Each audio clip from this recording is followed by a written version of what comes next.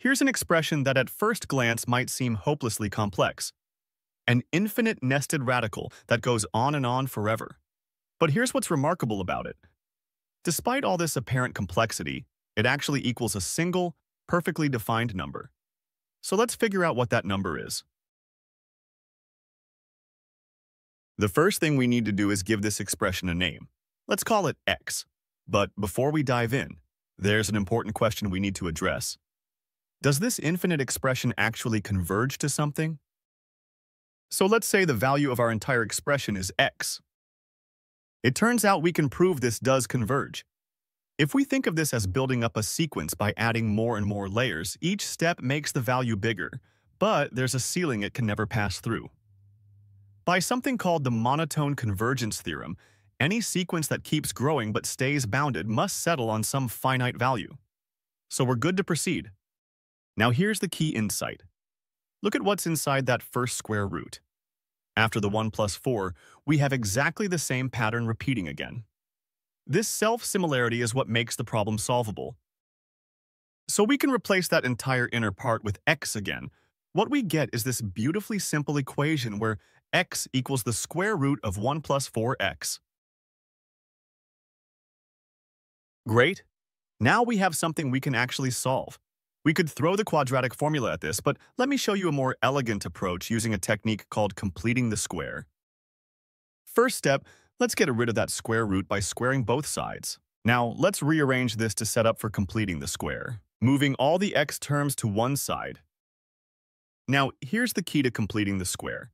We take half the coefficient of x, which is negative 2, square it to get 4, and add that to both sides, adding 4 to both sides. On the right side, 1 plus 4 is 5, which gives us 5. And now the magic of completing the square reveals itself. The left side is a perfect square, x minus 2 all squared. Taking the square root of both sides, and don't forget, when we take a square root, we get both positive and negative solutions. Finally, adding 2 to both sides to solve for x. So we get two possible values for x.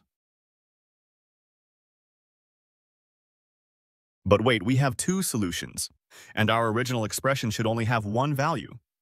So which one is right? And more interestingly, where did that extra solution come from? Our two potential solutions are 2 plus the square root of 5 and 2 minus the square root of 5. Here's what happened. When we squared both sides earlier, we accidentally created an extra solution. Squaring can merge two different equations into one. So our algebra was actually solving both the original problem and a sneaky negative version at the same time. Now, 2 minus the square root of 5 is negative, so that can't be our answer.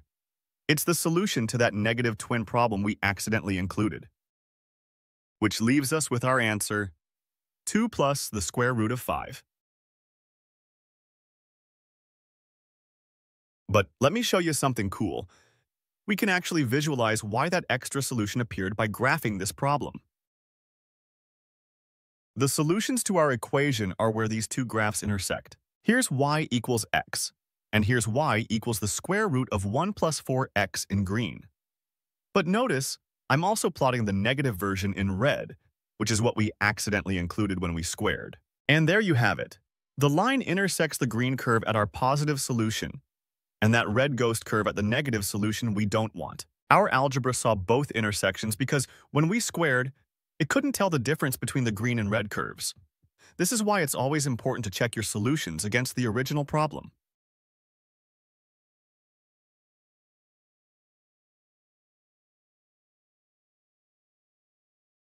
Alright, so we've solved our puzzle. But you know what's great about math? The answer to one question usually opens the door to even more interesting questions.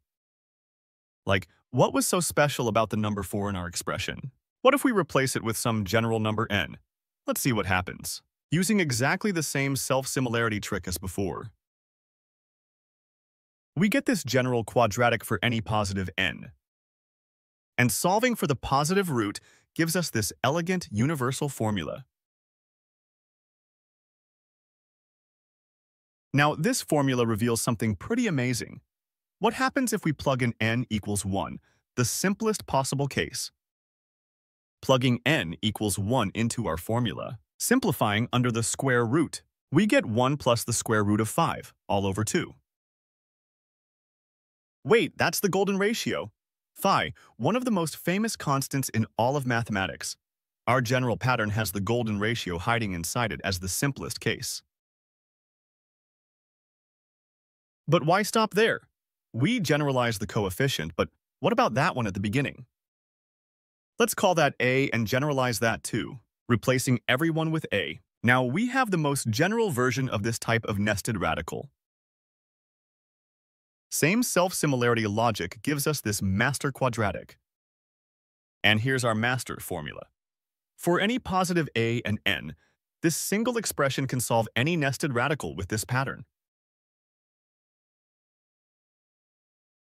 So let's step back and see what we've discovered.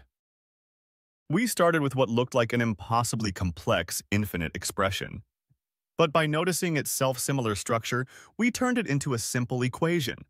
Then by exploring what happens when we change the parameters, we found connections to the golden ratio and discovered a universal formula.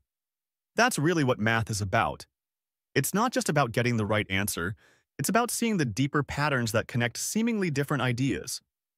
Sometimes the most intimidating problems are hiding the most elegant solutions. Thanks for joining me on this mathematical journey. If you enjoyed exploring the hidden structure of infinite nested radicals, consider liking this video and subscribing for more mathematical adventures. Until next time, keep questioning and keep discovering.